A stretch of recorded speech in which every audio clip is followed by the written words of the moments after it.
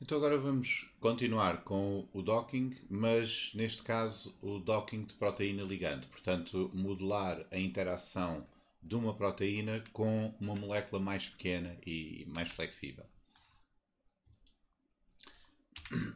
Vamos ver o, as semelhanças entre o docking de proteína-proteína e o docking proteína-ligando, mas também diferenças importantes uh, que o docking proteína-ligando tem em relação ao docking proteína-proteína. E depois vou dar como exemplo, uh, talvez o software assim mais usado para este tipo de docking, que é o Autodoc, uh, a versão 4, e o Autodoc Vina, também que é mais recente e talvez mais prático para, para quem começa a usar. Então vamos ver o que é isto docking de proteína ligando.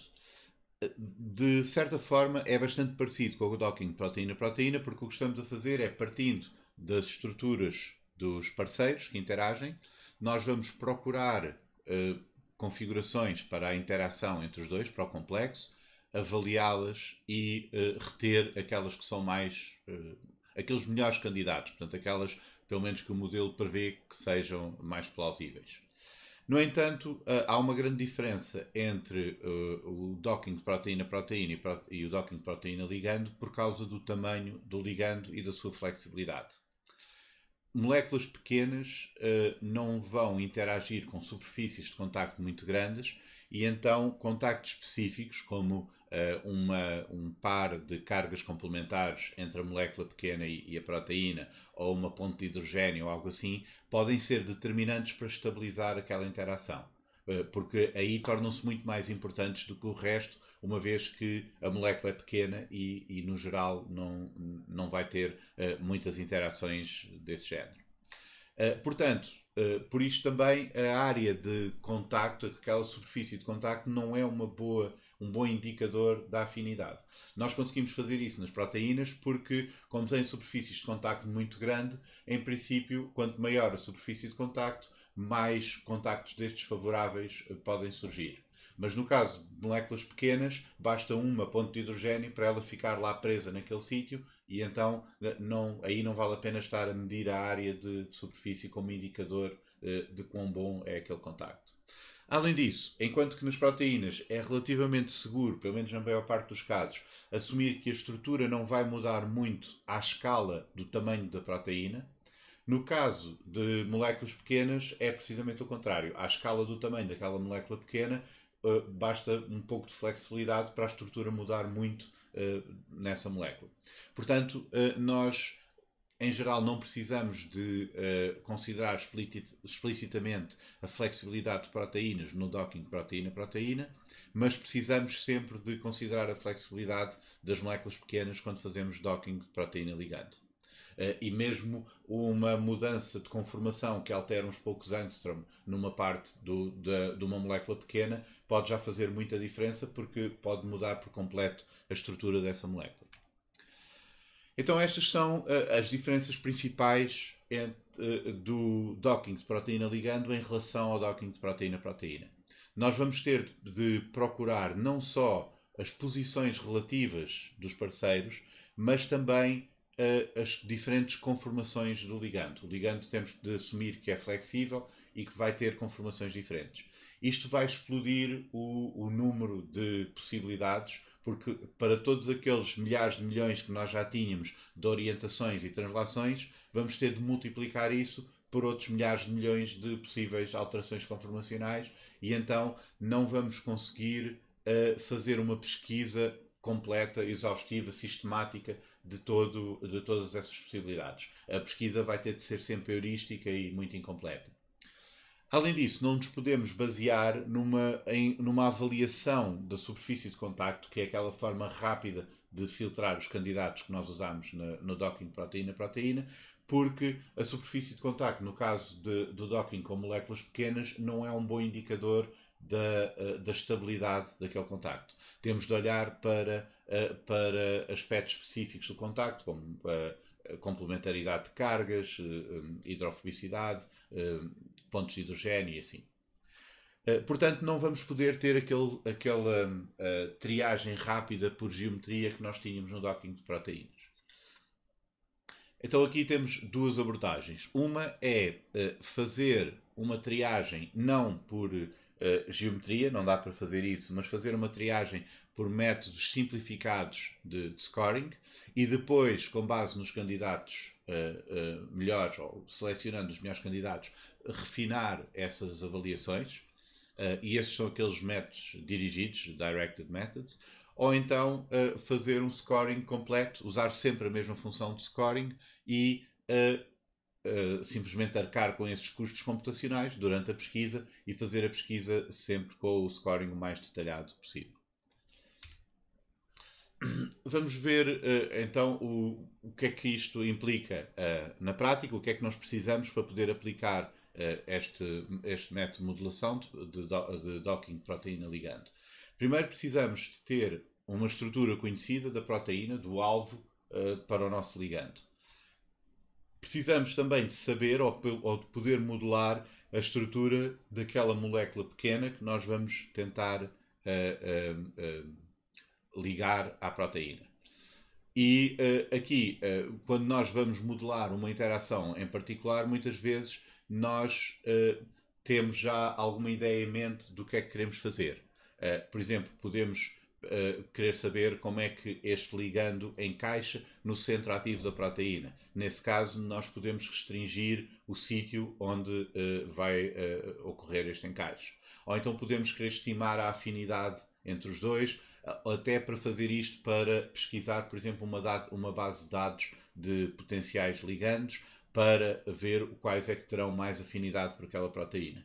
Isto até pode ser estendido a ligandos virtuais, que não, não existem mesmo uh, ainda sintetizados, mas que vamos criando uh, virtualmente modelos desses ligandos, por exemplo, para fazer design de, de fármacos. Uh, nesse caso, pode ser feito um screening virtual de, de ligandos possam ser uh, usados por ter uma afinidade prevista grande por uma certa parte, por exemplo, da proteína, para conseguir destruir a sua, a sua atividade, inibir a sua atividade ou algo desse género. Uh, por isso, o que nós normalmente temos quando vamos aplicar uh, estes métodos de ligando, de, de docking de proteína ligando, é uma ideia específica do que é que nós queremos obter, do que é que estamos à procura, e em função disso podemos ter de fazer uh, coisas diferentes. Podemos estar a modelar apenas um ligando numa parte da proteína, um ligando com toda a proteína, ou um conjunto grande de ligandos com uma parte específica e assim por diante. O que nós precisamos aqui é de fazer uma, uh, um, uma pesquisa pelo, uh, pela possível configuração entre, do encaixe do ligando com a proteína, mas que inclua também uh, uma pesquisa por todas as conformações possíveis do ligando. Por isso é que normalmente uh, aquela pesquisa sistemática que nós estávamos a fazer no caso do docking proteína-proteína, em que vamos passo a passo e rotação a rotação explorar todas as possibilidades, isso normalmente não é possível fazer no, no docking de proteína ligando. Então aqui o que nós vamos ter é abordagens como uh, fragmentação, vamos uh, construir o ligando aos pedaços no centro ativo, vamos ligar uma parte do ligando uh, que seja rígida e que seja que tenha mais afinidade por aquele sítio. E depois vamos ligar outra parte na posição portanto, próxima da primeira, de maneira a poder encaixar com a primeira parte, mas ajustando a posição e assim por diante. Portanto, podemos construir o, o ligando no sítio onde interage com a proteína gradualmente. Essa será uma das abordagens de, de docking de proteína ligado. Outras é fazer uh, uma pesquisa aleatória ou, ou eh, bem, de base estocástica, como aqueles métodos de Monte Carlo uh, que nós já vimos, ou usar, por exemplo, uh, métodos de otimização, como algoritmos genéticos, simulated annealing ou assim, para tentar fazer uma pesquisa. Estas são sempre pesquisas incompletas, não estamos a ver todas as possibilidades, mas ir uh, uh, afunilando até uh, as, os melhores modelos, ou então fazer mesmo simulação, por exemplo, por dinâmica molecular, para, uh, para tentar encontrar uma, uh, uma solução estável, um, um, complexo estável entre a proteína e o ligando. Portanto, em geral, é raro haver métodos de docking proteína-ligando que façam esta pesquisa uh, exaustiva, esta pesquisa completa pelas conformações todas, por causa do espaço conformacional muito grande, e então o que acontece é tem estas pesquisas incompletas que vão usando estas heurísticas para tentar encontrar o, o melhor modelo possível, mas só pesquisando esta parte, ou por, uh, por pesquisa aleatória, por algoritmos de otimização e assim por diante.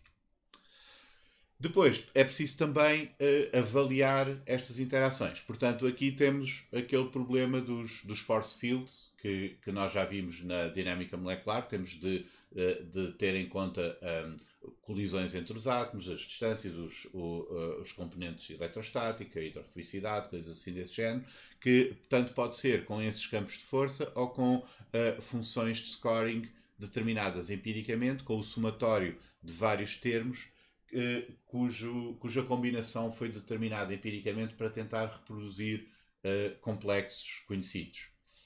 Uh, estas podem também ser, ser estendidas até em funções que são baseadas mesmo na análise estatística desses complexos conhecidos. Portanto, há aqui um, uma, um contínuo entre os campos de força puramente teóricos combinações de uh, funções, de parâmetros ou termos que podiam ser teóricos, mas que são empiricamente uh, combinados com pesos que são otimizados para tentar reproduzir casos conhecidos, ou mesmo funções que são simplesmente tiradas dos casos conhecidos, como uma análise estatística do tipo de, de interações, de combinações que há no, nos complexos proteína-ligante conhecidos. Uh, outra abordagem também possível é, é agregar diferentes uh, funções de avaliação e tentar fazer o melhor, portanto, usá-las uh, todas em conjunto, dar-lhes pesos diferentes ou votos, votos de maioria ou algo assim e agregar várias destas. Portanto, há várias abordagens também aqui na parte de avaliar o, os possíveis complexos. Então vamos ver um, um exemplo, um caso particular, o Autodoc, como é que funciona. Vocês têm uh, basicamente três, três componentes no Autodoc uh, neste momento. O Autodoc 4 é um pouco mais, mais antigo. Uh, usa este, tem este campo de forças que é empírico, é determinado de forma a otimizar os, os resultados comparado com um conjunto de, de testes, mas usa vários componentes que depois são ponderadas dessa forma empírica. Uh, e usa este, uh, este algoritmo genético lamarckiano que eu vou explicar um pouquinho melhor em detalhe, para fazer a pesquisa dos, um, uh, eh, das várias configurações, conformações e, e, posições relativas do ligando em relação à proteína. Uh, este permite uh, manipular melhor o, os vários passos, a criação daquelas grelhas, os parâmetros e assim, mas exige um pouco mais de esforço e mais tempo para, para pôr as coisas a, a funcionar. O Autodoc Vina é mais recente, tem uma função de score simplificada e é muito mais simples de usar, porque basicamente é só dar-lhe os, os parceiros uh, e ele faz tudo sozinho, mas é menos flexível no que toca a, a ajustar aqueles parâmetros. O Autodoc Tools é simplesmente um, um, pacote, uma aplicação gráfica que ajuda a definir, por exemplo, a região da proteína onde nós queremos fazer o docking, ajuda a visualizar os resultados e assim por diante. Portanto, isto, o Autodoc Tools não é a parte que faz mesmo a computação, é apenas um, um programa auxiliar para criarmos os, os parâmetros uh, e os, os, ficheiros iniciais que o Autodoc 4 ou o Autodoc Vina vão usar para, para fazer o docking. O, Autodoc usa grelhas pré-calculadas para fazer o scoring. Portanto, a ideia aqui é que nós temos a, a nossa proteína-alvo, uh, vamos criar aqui várias grelhas conforme o tipo de átomos na, na proteína e estas grelhas vão, vão nos dar valores de pontuação em função do tipo de átomos no ligando, conforme ele calha em diferentes posições na grelha. Portanto, o, o que acontece aqui é que depois destas grelhas criadas, em qualquer sítio que nós possamos pôr o ligando e qualquer conformação, nós podemos olhar logo para o, para o sítio da grelha onde os átomos do ligando calham e avaliar uh, quão bom ou mau é aquela, aquela posição, aquela, aquele sítio onde estamos a pôr o ligando. E então já não temos de estar a considerar sempre os átomos da proteína porque temos estas grelhas pré-calculadas. No caso do, uh, do Autodoc 4, uh, usamos primeiro o Autogrid para gerar uh, as grelhas e depois o Autodoc vai fazer a pesquisa usando essas grelhas. Uh, em ambos os casos, no Autodoc 4 e o Autodoc Vina, tem estes, métodos de pesquisa estocástica que vão considerar todas as transações, rotações e, e, e rotações ao, uh, dos ângulos diedros do ligando, portanto, todas essas alterações conformacionais. Uh, no Autodoc 4 usa este algoritmo uh, genético. Um algoritmo genético é um, um algoritmo que simula a evolução uh, dos, dos genes numa população. Portanto, cada, neste caso, cada modelo, cada posição e conformação do ligando é determinada por um cromossoma de, de, parâmetros, portanto podem ver lá os valores todos de translação, rotação e dos ângulos diedros, e os novos indivíduos são gerados fazendo mutações uh, nesse cromossoma, portanto alterando alguns parâmetros aleatoriamente e fazendo um crossover dos pais para os filhos. Portanto, podemos usar uh, os ângulos diedros destes ângulos do, de um dos, dos progenitores uh, os ângulos diédos do outro, do, uh, do outro progenitor, juntar isso num, num descendente e vamos mantendo uma população de, dessas configurações, desses cromossomas que definem a posição e a conformação do ligando e vamos aplicando seleção natural, vamos tirando aqueles que são piores, reproduzindo os que são melhores e vamos passando, fazendo isso de geração para geração. Portanto, isso é o, o, a ideia do algoritmo genético. Neste caso, o Autodoc chama-lhe Lamarckiano porque tem aquela, aquela noção de Lamarck de, da herança de, uh, de atributos adquiridos, porque vai intercalando o, estas, uh, esta parte evolutiva com uma pesquisa, uma otimização por pesquisa local, em que podemos pegar em alguns indivíduos e ajustar um bocadinho os ângulos ou a posição assim, só para melhorar um pouco o, o score desse indivíduo e depois essa melhoria é passada aos seus descendentes, porque agora vamos usar esses novos parâmetros para criar os novos descendentes. Por isso é que chamam uh, este algoritmo genético Lamarckiano, porque captura um pouco essa ideia de que vamos, vamos melhorando também uh, o próprio indivíduo e depois adquirindo, passando essas características adquiridas ao descendente. No, uh, quando usa o Autodoc Vina, o Autodoc Vina tem uma, esta uh, método de pesquisa uh, iterado por mutações aleatórias e depois otimização por, por minimização do, daquela, do, no fundo está a otimizar o, score, minimizando, no caso do score ser negativo, para, para otimizar o score, vendo o gradiente daquela função de score e, e, e descendo ao longo desse gradiente. Portanto, basicamente o que o Vina faz é mutações aleatórias e depois otimização, tentando encontrar um mínimo local a partir daquela mutação para o, a função que está a minimizar, neste caso o, o score. Uh, depois faz outra mutação e nova uh, uh, minimização e vai alternando isso, vai iterando por, por essas diferentes fases até convergir, até ter algo que já não, não está a melhorar, ou então, enfim, ao fim de passar um certo número de, de iterações. Nós podemos, nós podemos marcar esses, esses parâmetros no Autodoc Vina, quanto tempo é que ele perde a tentar otimizar cada um do, dos modelos.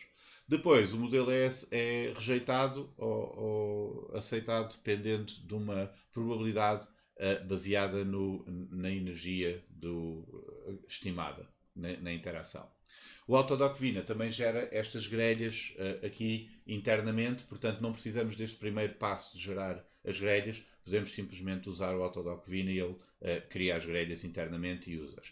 O que é mais prático do que o Autodoc 4, mas dá, não nos dá a possibilidade de uh, ver essas grelhas, ajustar essas grelhas ou, ou, enfim, parametrizar alguma coisa a nível das grelhas.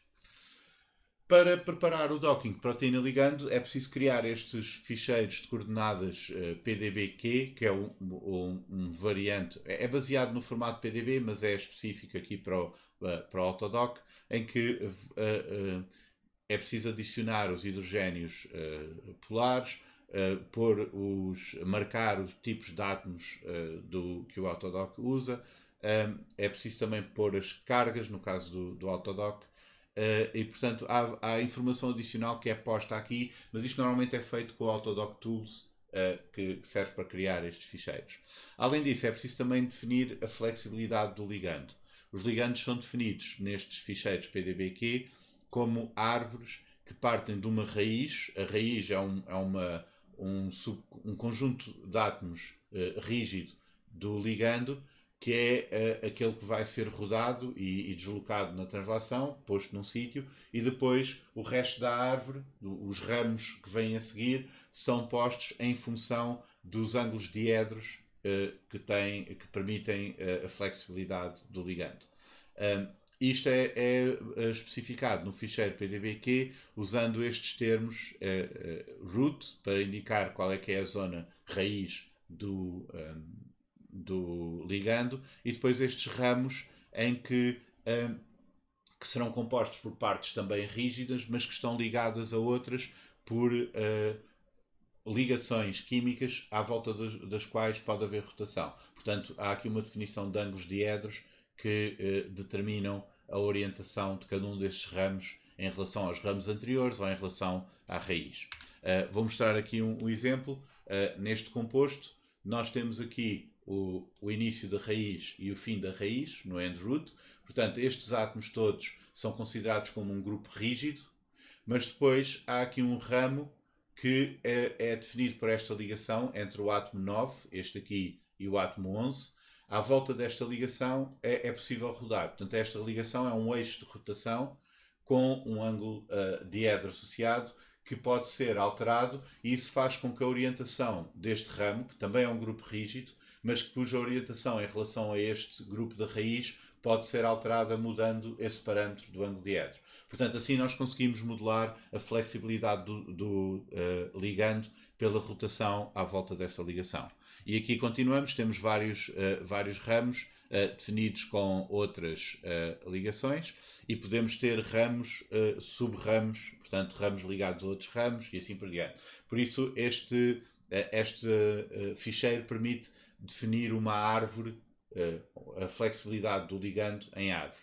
Há aqui alguns problemas quando nós temos coisas circulares, é, é, difícil definir assim, mas se vocês tiverem ligandos conseguem definir com a, a flexibilidade com, com uma árvore de, de, ramos e ramos ligados a ramos e ramos ligados à raiz, então uh, uh, isto funciona bem. Portanto, os ligantes são definidos como estas árvores com estes, uh, estas ligações à volta das quais pode haver rotação. Os ângulos diedros serão parâmetros usados pelo Autodoc para otimizar a conformação do ligando e esta estrutura será especificada neste ficheiro PDBQ. Em geral, vocês usando o Autodoc Tools têm lá algumas uh, ferramentas automáticas para tentar inferir o que é que será o, a melhor representação da flexibilidade do ligando. Em casos extremos, podem até manualmente criar o ficheiro PDBQ, indicando lá exatamente quais são os, uh, os ângulos que vocês querem considerar uh, para a flexibilidade. Resumindo, Uh, a motivação para fazer, para modelar uh, a interação entre ligandos e proteínas pode ser uh, muito diversa. Nós podemos querer fazer screening de compostos virtuais para design de fármacos, podemos fazer screening de compostos reais, estruturas conhecidas, para tentar selecionar um ligando que, que, já existe, que é um, uma, um composto já existente. Podemos querer perceber melhor a interação, podemos querer procurar sítios na proteína que tenham mais afinidade pelo ligando, ou perceber como é que o ligando se liga a um sítio específico da proteína, etc. Isto é diferente do docking de proteína-proteína uh, em, duas, em dois aspectos uh, importantes. Primeiro, como nós temos de considerar alterações conformacionais no ligando, o espaço de pesquisa e isto parece um pouco paradoxal, mas o espaço, o espaço, de pesquisa, quando fazemos o docking de uma proteína com uma, uma, molécula pequena, é muito maior do que no docking de uma proteína com uma proteína. E isto, uh, apesar das proteínas serem maiores, resulta de, do facto de nós não podemos ignorar as alterações conformacionais nas, nos ligantes pequenos, da mesma maneira como podemos fazer em geral nas proteínas. Uh, além disso, não podemos filtrar com base na, na complementaridade de superfície. O, uh, a complementaridade de superfície é um bom indicador da, da, estabilidade da interação, no caso de docking proteína-proteína, mas no caso de docking proteína-ligante, como a estabilidade pode ser determinada por algumas uh, interações específicas mais importantes, nós não podemos simplesmente basear-nos na, uh, complementaridade de superfície. Isto quer dizer que no caso do docking de proteína ligando, não podemos ter aquela triagem rápida por complementaridade geométrica e, além disso, não conseguimos, em geral, ter uh, algoritmos de pesquisa sistemática por todo o espaço uh, de possibilidades. Temos de usar métodos estocásticos, métodos de amostragem ou heurísticos que vão tentar uh, atalhar caminho por um subconjunto das possibilidades para tentar encontrar o melhor.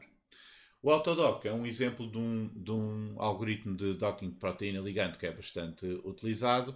Também pode ser usado para docking proteína-proteína. É possível uh, pôr como ligando outra proteína, se bem que não está, uh, não está vocacionado especialmente para isso. Portanto, uh, se querem fazer docking proteína-proteína, se calhar é melhor usar um algoritmo específico para, para docking proteína-proteína.